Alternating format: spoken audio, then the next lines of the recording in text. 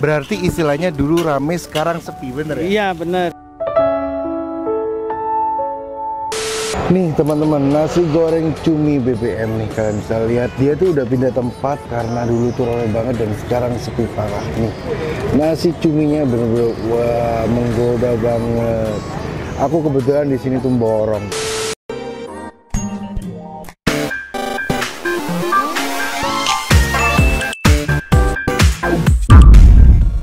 Nah teman-teman balik lagi nih di channel keindahan Toko Buncit. Hari ini nih aku mau cobain sesuatu yang udah dilupakan.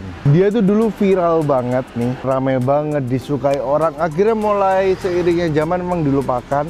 Dan memang sekarang itu agak-agak sepi banget nih. Tapi nih sayangnya, meskipun sepi, masanya tuh memang lama banget. Aku nunggu itu keadaan sepi bisa satu setengah jam lebih. Nggak tahu kalau rame ya, semoga bapaknya bisa ngubah sistem gaya masaknya. Cuma nih, memang dia tuh terkenal banget dan ya rame gitu deh kalian pasti kepo banget karena dia itu lebih ke arah konsepnya nasi goreng plus cumi kayak gitu deh daripada kepo nih kebetulan udah agak malam juga. Kita langsung yuk let's go ke sana. Guys nih sekarang kita udah sama bapaknya. Malam pak. Malam Mas. namanya pak siapa? Pak Gatot. Pak Gatot. Pak Gatot dulu kan kalau nggak salah ini nasi goreng cumi itu kan masuk gang sana ya? Ya, Gang 1 AH 19. itu kan dulu sempat rame banget Iya. ya kan ya Ya. nah kenapa kok pindah dari situ sekarang ke sini pak Nah, di samping kena corona, pintunya ditutupi semua. oh pintu perumahan itu ditutup semua jadi nggak ada akses untuk menuju ke sana ya? Nah, enggak bisa.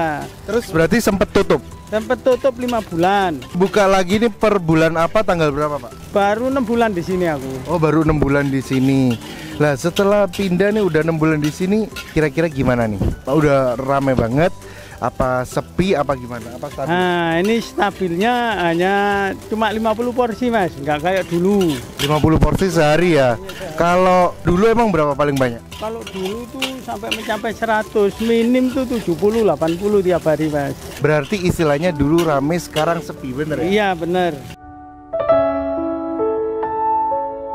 Sejak corona ini. Sejak corona ini berarti dulu beda banget ya Pak. Kalau ini nih lokasinya nih di mana sekarang nih Pak? Ini di Jalan Raya Rungkut, Mejoyo Selatan, Taman PKK. Mas. Berarti di Taman PKK-nya ya, di seberang area Pujasera itu ya. Iya. Terus jam buka tutup Pak jam berapa? Jam bukanya setengah enam sampai habis, Mas. Sampai habis biasanya habis jam berapa? Habis jam setengah sepuluh.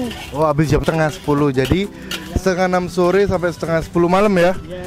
Ya udah Pak, aku pesen sekitar 5 bungkus. Nanti tak makan sini. Terima ya, kasih kembali. Ya teman-teman tadi udah ngobrol-ngobrol sama bapaknya dan kita siap makan nasgor cuminya langsung aja ya di 3, 2, 1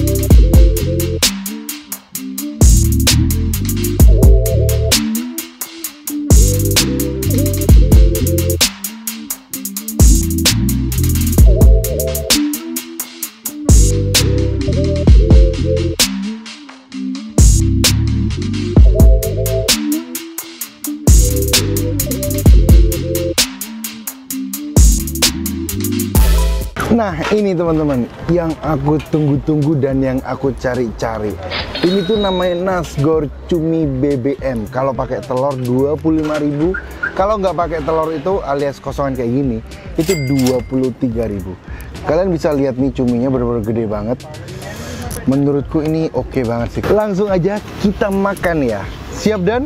Siap dong. Siap teman-teman? Lah ini makan ya teman-teman Hmm.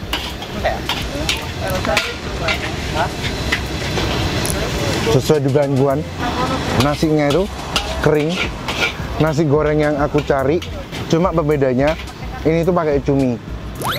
Dan cuminya itu juga nggak amis sih, menurutku nggak amis ya. Gede-gede juga potongannya. Cuma masaknya itu lama.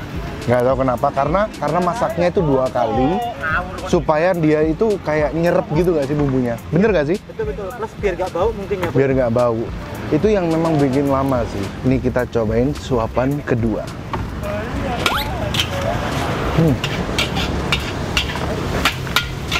Untuk dari review 8,5 per 10. Dan aku saranin kalau mau pesen tambah sambal ya supaya rasanya tuh makin pedes, yang cuminya gimana kok? Kerasa nggak? Kerasa ini nih cuminya nih. Hmm. Oke, Porsinya lebih akeh ya kok ya. porsinya cukup banyak. Kita coba telurnya ya. Nih. Telur nasgor cumi ini mantep banget. Langsung aja makan ya, teman-teman. Hmm. Telurnya itu enak. Kalau nggak pakai telur tadi 23.000, kalau pakai telur 25.000. Kalau kamu tim pakai telur apa enggak nih buat kameramen? Pakai telur dong, kok. Pakai telur ya? Enggak. Kalau Farel gimana? Ral? Hashtag tim pakai telur dong. Kalau nggak pakai telur, kayak ada yang kurang nggak sih? Oh, ternyata Farel pakai telur juga. Kalau aku juga pakai telur. Berarti kita bertiga ini tim pakai telur ya. Iya dong. Kalau kalian gimana teman-teman? Kalau makan nasi goreng paling enak pakai telur apa enggak? Coba komen di bawah. Apalagi spesialnya ini tuh nasgor cumi. Porsinya itu kebangetan, banyak sih menurutku. Kayaknya ini dimakan dua orang kayak cukup sih. Harganya murah lagi. Pak, aku boleh nggak tambah sambelnya? Boleh. Nih, tambah sambel supaya rasanya itu makin nikmat. Nih Pak, minta dua sendok aja. Satu, dua, satu lagi. Yo, ini sambal apa Pak? Lombok saja. Oh lombok saja. Ya udah, makasih ya Pak. Nih aku udah tambah sambel, kita aduk-aduk. Udah merah merona nih sama cabenya udah jadi satu nih. Gila banget nih, enak nih pasti. Kita masuk sesi apa dan? Eat. Barbar time. Masuk sesi is barbar time karena udah dicampur sambel. Padahal ya, kok itu dikasih sambal loh tadi kok. kurang kurang kurang ada apa ya kayak ada kurang yang pedes-pedesnya lekit gitu ini kita langsung cobain aja makan ya teman-teman hmm. pedesnya makin nendang tapi enak sih cuma jangan too much ya telurnya hmm. nasi cumi yang paling cocok di lidahku Aku tahu ini tuh dari 2017. Hmm. Udah mau habis aja nih. Hmm.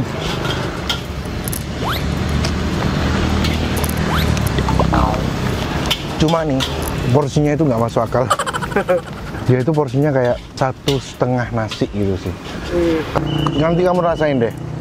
Itu men- menurutku banyak sih. Untuk review pokoknya ini mantep banget. Wajib dicoba dari cumi, nasi goreng, rasa, sambal, telur semuanya oke banget.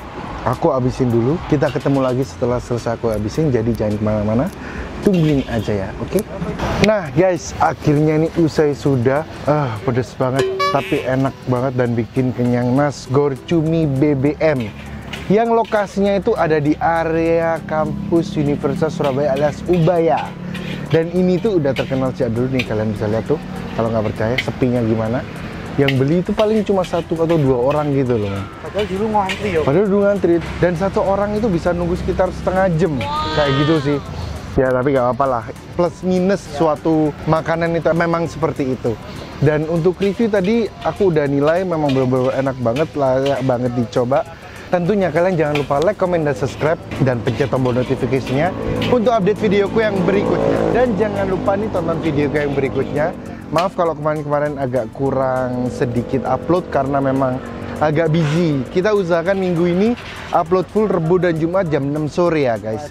Thank you selalu udah support dan selalu positif vibe terus. Kalau ada rekomendasi kuliner apa pun di Surabaya, Malang, Batu, Jember, Probolinggo, Jakarta atau mana pun coba komen di bawah karena rencana aku mau keliling ke beberapa kota sih. Dan ini nih aku mau ada ngasih masukan buat kalian. Masukan istilahnya bisa dibilang quotes. Ini aku ada kutip sesuatu di Google.